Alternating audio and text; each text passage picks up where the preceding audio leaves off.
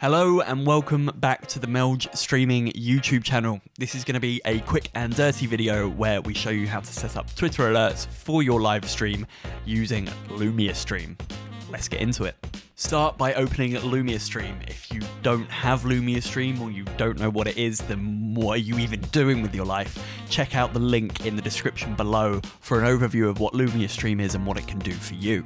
Once you've got Lumia Stream open, head to the connections page, go to the streaming services section and click to add a new connection. Select Twitter and go through the authorization process to allow Lumia to respond to Twitter. Now that we've established the connection between Twitter and Lumia, we can start telling Lumia what we want it to do in response to Twitter. Head to Alerts and select Twitter. Here you can tell Lumia what to do when you get a new follower, a new like on a tweet, or a new retweet.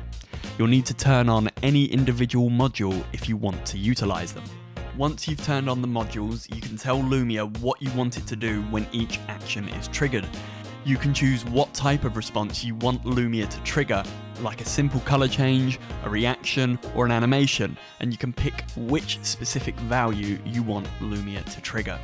Of course, you're not just limited to lighting actions, you can also have Lumia trigger actions on OBS or on Spotify in response to something happening on Twitter. You can also have Lumia trigger a text to speech message or a chatbot message, so you can start getting really creative with the response options that you have available to you. Once you've established your connection with Twitter, you can actually start setting up commands to control certain aspects of your Twitter account. Head over to the commands page and create a new chat command. Set the lights accordingly. Now for me, I didn't want the lights to change, so I just set them to no light change. Then go to the Twitter tab at the top. If you click on the type drop down, you can see all of the actions that Lumia is capable of completing for you, including sending tweets, DMs, updating your profile picture, and banner images as well. Let's set up a command to send a tweet. Head back to the General tab and give your command a name. We're going to go for exclamation mark tweet. Now head back to the Twitter tab and select the right type. For us, it's send tweet. Type out your tweet in the message box. If you want some dynamic information in there, then you can use variables by clicking on the brackets and selecting the relevant variable. A good example here would be message.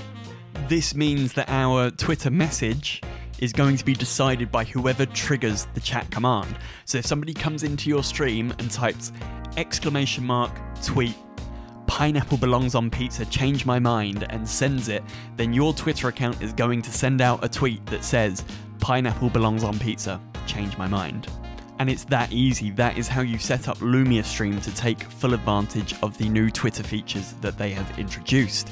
Now, if any of you decide to use this feature, please let me know what you've come up with and what you've done with it. I'd love to see some of the creative ideas that you've all come up with.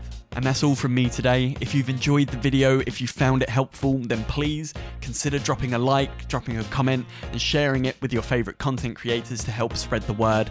It really, really helps and it's massively appreciated. We'll be back in the near future with some more tips and tricks and overviews for Lumia Stream and general streaming advice. But until then, thanks for watching.